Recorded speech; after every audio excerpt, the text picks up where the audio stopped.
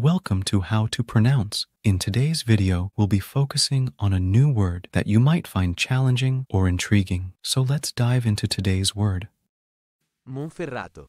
which means a hilly historical region in northwestern Italy known for wine production. let's say it all together. Monferrato. Monferrato. Monferrato. One more time. Monferrato.